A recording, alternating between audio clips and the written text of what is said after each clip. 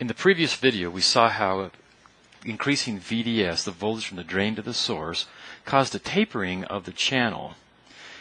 We refer to that region as the triode region, and in that region, the current through the transistor, or I sub D, was given by this expression.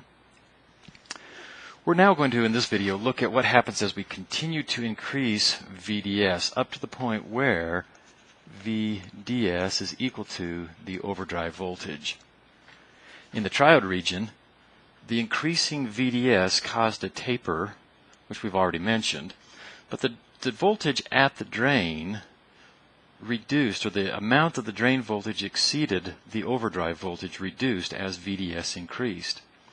So if you can imagine VDS continuing to increase up to the point where the um, VDS equals the overdrive voltage, the channel effectively becomes pinched off. Now, pinch off is an interesting word. It doesn't pinch it off in that it stops the current from flowing as though the channel were kinked. It simply means that the enhanced channel filled with electrons comes to a taper at this point. Current continues to flow because you have a significant voltage drop between the drain and the source. And so the electrons are swept across this depletion area on through the channel to the source, or the electrons actually are swept from the source on through across the depletion pinched off area here into the drain. Of course, we think of the traditional current going the opposite direction. But let's look at what happens to the current when VDS equals VOV.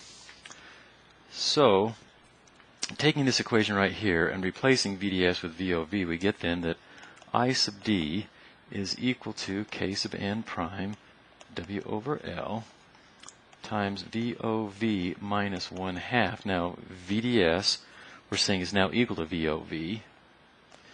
VOV times VOV. Well, VOV minus 1 half VOV is just 1 half VOV times VOV gives us then, if we pull the 1 half out in front, K sub n prime W over L VOV quantity squared. This expression then becomes the, the equation that describes the current through the transistor at the point where VDS equals VOV, or in fact it exceeds VOV. We call that region the saturation region. And to a first order effect, the current through the transistor is independent of VDS we're going to see in the next few videos that that isn't quite exactly true, that there is something known as the early effect, where we'll look at what's known as, as channel length modulation. But at least for right now, we're going to we're going to uh, treat the current through the transistor in the saturation region as being a constant value independent of VDS. We then have this expression here replacing VOV with VGS minus VT, describing the current in the saturation region, and we have this expression right here for the current in the triode region.